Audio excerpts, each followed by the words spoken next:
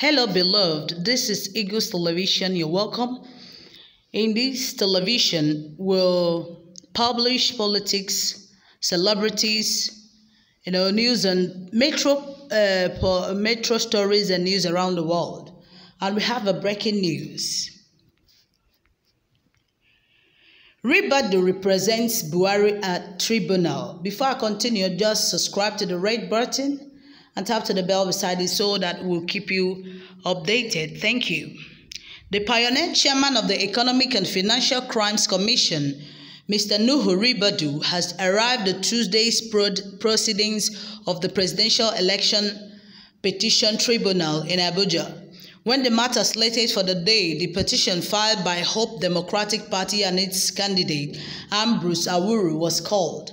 Ribadu, a, a, top member of the All Progressives Congress from Adamawa State, announced himself as the representative of President Mohamed Buhari, whose victory at the February 23rd poll is being challenged by the HDP.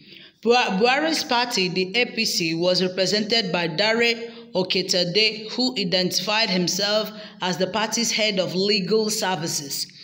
The, the Independent National Electoral Commission was represented by its Director, Legal Services, Oluwatoyi Babalola. However, while Chief Wole Ona Olanipekun San led Buhari's legal team, Lateef Fagbemi San led APC's team of lawyers.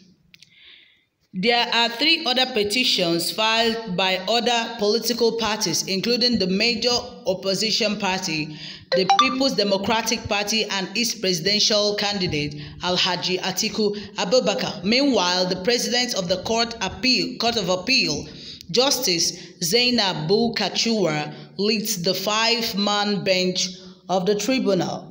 Thank you and God bless you for watching. We'll keep you updated. Remember, this is Eagles Television. We love you.